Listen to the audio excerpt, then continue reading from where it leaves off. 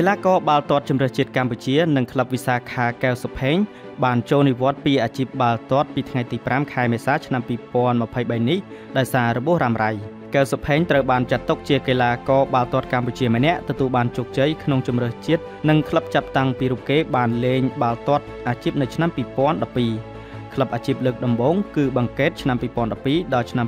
2015រូបគេបង្ហាញខ្លួនបាន37ដងនៅលើទីលាន និងរកបាន21គ្រាប់បាល់ ក្លឹបនេះរូបគេបានជួយឲ្យឈ្នះជើងឯកលីកកំពូលកម្ពុជាឆ្នាំ2012បន្ទាប់មកកែវសុផេងបានផ្លាស់ទៅក្លឹបភ្នំពេញក្រោនពីឆ្នាំ2015ដល់ឆ្នាំ2017ក្នុងរយៈពេល3ឆ្នាំរូបគេបង្ហាញខ្លួនលើទីលាន51ដងរកបាន27គ្រាប់និងជួយឲ្យភ្នំពេញក្រោនឈ្នះជើងឯកលីកកំពូលកម្ពុជាក្នុងឆ្នាំ2015ឆ្នាំ2018ប្អូនប្រុសបង្កើតរបស់កែវសុកងនបានផ្ទេរទៅកាន់ក្លឹបលីកកំពូលម៉ាឡេស៊ី PKNP ហើយលេងបានតែ4ដងប៉ុណ្ណោះ ប៉ុន្តែរកបានមួយគ្រាប់ដែលបានក្លាយជាកីឡាករកម្ពុជាទី1រកបានគ្រាប់បាល់ក្នុងលីកកំពូលម៉ាឡេស៊ីយ៉ាងណាឆ្នាំ2018ដដែលកែវសុកផេងបានវិលត្រឡប់មកកម្ពុជាវិញដែលបានចូលរួមជាមួយក្លឹបវិសាខា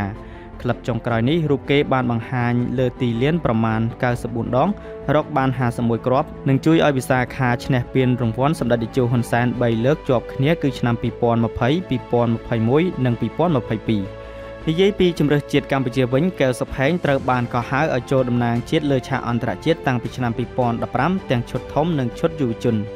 ការបង្ហាញខ្លួនឲ្យក្រុមយុវជនអាយុក្រោម23ឆ្នាំនិងឈុតធំបាន62លើករកបាន15គ្រាប់ក្នុងព្រឹត្តិការណ៍សំខាន់ជាច្រើនដូចជាជម្រុះជើងឯកពិភពលោកជម្រុះជើងឯកអាស៊ីជើងឯកអាស៊ានកីឡាស៊ីហ្គេមនិងមិត្តភាពអន្តរជាតិជាដើម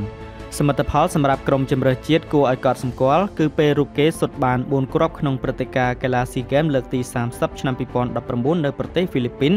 គឺសុទ្ធចូលហ្វីលីពីន1គ្រាប់ចូលទីម៉័រខាងកើត1គ្រាប់ចូលម៉ាឡេស៊ីមួយគ្រាប់និងមីយ៉ាន់ម៉ាមួយគ្រាប់ហើយជាការជួយឲ្យក្រុមអ៊ុយ23កម្ពុជា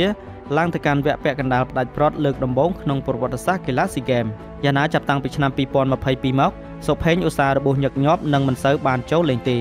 គេមើលឃើញថាគ្រូបង្វឹកដាក់ឲ្យចូលលេងចុងវគ្គទី2ក្រៅពីអាជីពបាល់ទាត់កែវសុផេងជាកីឡាករបាល់ទាត់ម្នាក់ដែលលេចមុខមាត់ក្នុងកម្មវិធីសំខាន់សំខាន់ជាច្រើនដូចជាពិធីសម្ពោធផលិតផលហាងនិងការថតផ្សាយពាណិជ្ជកម្មជាដើម។នៅថ្ងៃទី5ខែមេសានេះក្លឹបវិសាខាបានប្រកាសជាផ្លូវការពីការចូលនិវត្តន៍របស់កែវសុខេងក្នុងវ័យ31ឆ្នាំ។